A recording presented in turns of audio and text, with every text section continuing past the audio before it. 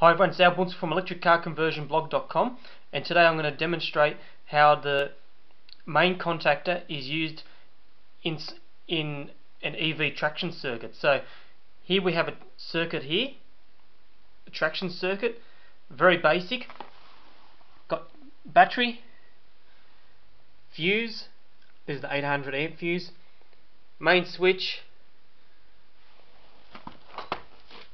goes to the main contactor over there to the motor. And in this case this is a 24 volt modified starter motor wired up as a series wound motor. And you got these uh, terminals going back to going back to the battery which is in this case the negative terminal going to a negative terminal. So just going to quickly demonstrate how the contactor works uh, but before I do that, here we have a contactor, and as you can see, it's got two terminals over there. So terminal there and a terminal there. Now, that's going to be running high current, so it's best not to touch them uh, when there's a battery applied to them. But basically, uh, if in doubt, don't touch it. Uh, uh because you can you, it can uh, handle some deadly currents so it's best not to uh, definitely don't touch it. What you have there, you can see from the top here, well you can see like the the uh, those two terminals there.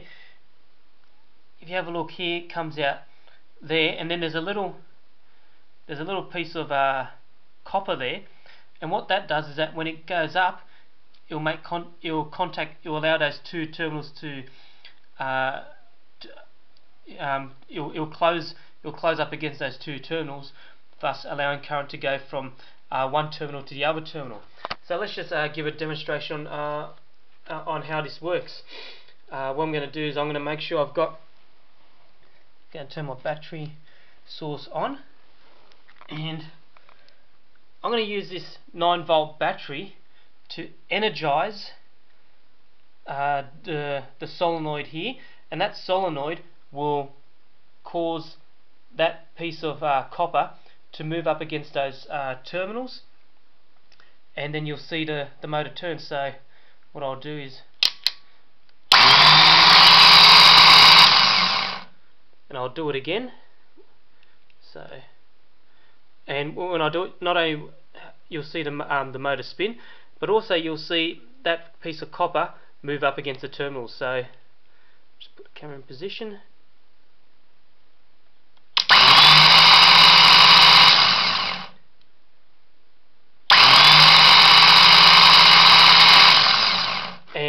yes, normally you're supposed to use a 12 volt energy source here, but uh, for some reason the 9 volt seems to work.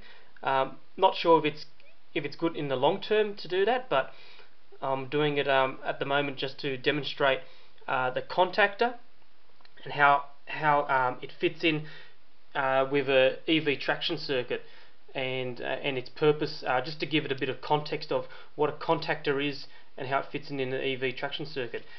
This is Al Bunzel signing out.